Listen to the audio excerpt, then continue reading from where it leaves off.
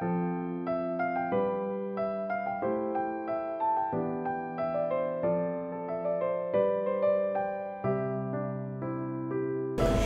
à, nói đến à, cô thủy, bộ môn quản lý dược chắc các bạn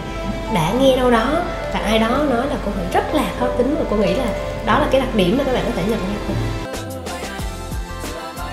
Nhưng mà cô cứ ngồi bàn học là ba mẹ lại lôi ra bắt đi chơi, thậm chí là đêm nào cũng khóc vì là không được học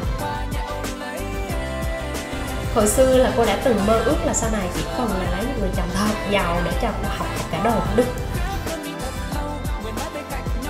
à, cô thích thì cô lấy ví dụ thôi.